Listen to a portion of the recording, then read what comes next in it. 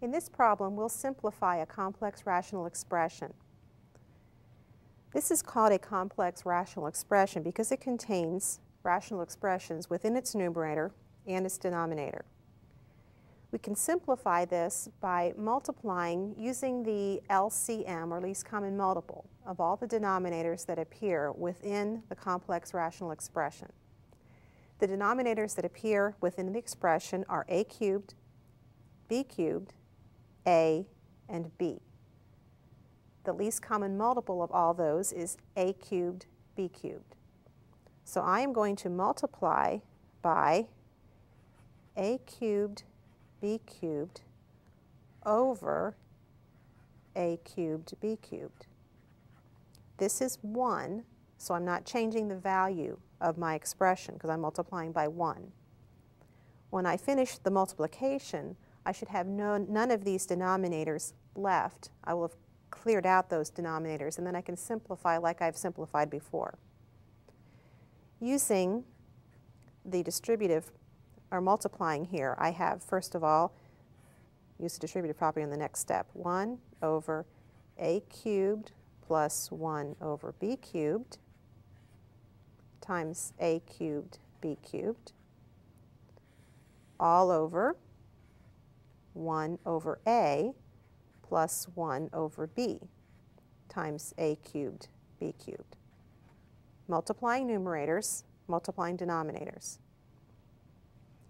Now I can use the distributive property and write this as 1 over a cubed times a cubed b cubed plus 1 over b cubed times a cubed b cubed. All that is over 1 over a times a cubed b cubed plus 1 over b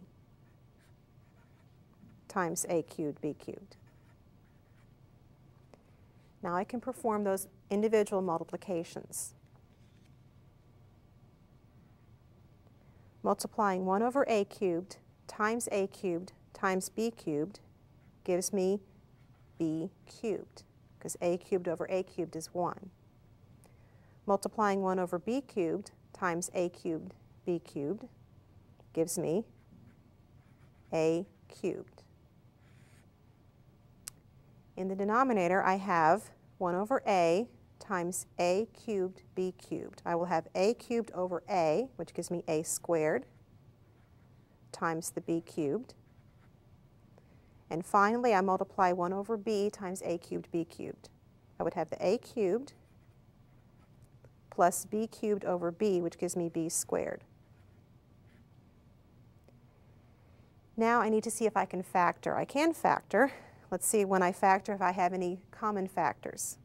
In the numerator, I have a sum of cubes, which factors to b plus a times b squared minus ba plus a squared. The denominator has some common factors. a squared b squared is a common factor to both terms, so I factor out a squared b squared.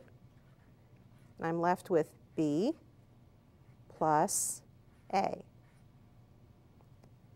Now that the numerator and the denominator are factored, I see that I have common factors, b plus a in the numerator, b plus a in the denominator. I can cancel them. I remove a factor of 1. And I write what's left in the numerator, which is b squared minus ba plus a squared, which is not factorable, over what's left in the denominator, which is a squared b squared. And that's the simplified form of this expression.